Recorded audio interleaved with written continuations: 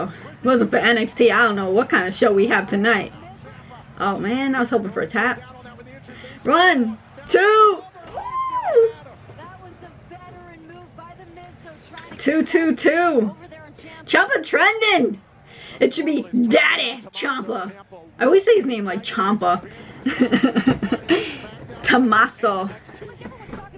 Champa. Champa. But it doesn't matter. I'm gonna always call him Ciampa. Cause I chomp. You know, just call him Daddy. Just call him Daddy, Luch. Just call him Daddy. Woo! Woo! Woo! Woo! Woo! Tommaso, nobody home, baby. Turns around and an awesome clothesline by the Miz. Miz, what you looking for?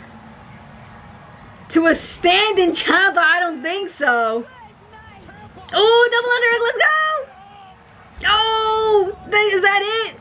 One, two, it's gotta be it. Hey, NXT, NXT, NXT, saving SmackDown tonight. Yo, for real though, NXT saving SmackDown tonight. And Daddy is home!